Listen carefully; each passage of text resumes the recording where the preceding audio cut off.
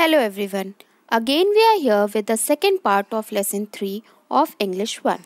In the first part we did reading, explanation and bookwork. Now in this part we'll move forward with the copy work. As you were guided to do lesson 1 in your copy, in the same way you have to complete this lesson. But you must be wondering that what about lesson 2? So children, lesson 2 My Dear Mama is a poem which you have to learn from the book. Let's start. On page number 5, you have to draw two lines margin. After that, put date on the left side and classwork on the right side of the page. After leaving one line, put number 1 and write difficult words. The words which you have underlined in the book, the same words you have to write here. The first word is learn, which you have to write four times 1, 2, 3 and 4. In the same way, you have to write the second word that is recite.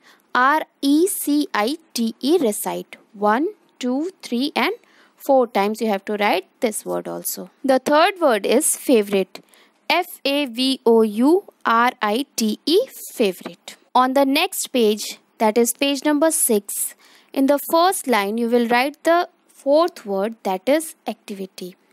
A C T I V I T Y activity. And the last word is share. S H A R E share.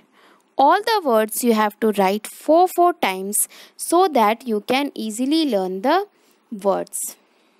After leaving one line, write number 2 word meaning which means you have to write the meaning of the words given. The first word is little. L I T T L E little and the meaning is small S M A double L small. The second word is share which means to divide something between two or more people. And the last word is learn. That means to gain knowledge.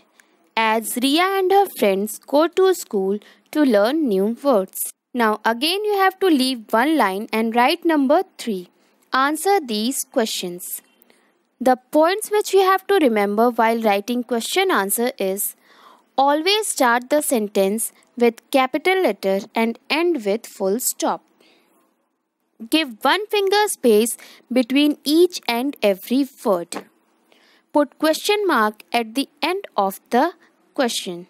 So the first question is who is ready to go to school? And question mark. And the answer is Ria is ready to go to school at last full stop. Write the second question after leaving one line that is which is Ria's favorite story? So the answer is the three little pigs is Ria's favorite story the Three Little Pigs is a name of a story. So the first letter of each word will be capital. And Ria is also a name. That's why R is capital. After leaving one line, write question number 3. What do you say to each other before you go home? And the answer is we say goodbye to each other before we go home. Here comes the end of lesson 3. You have to complete this work in your fair copy in very good handwriting. After completing your work, submit it on the link provided to you for correction. Till then, take care of your health and enjoy your studies. Thank you.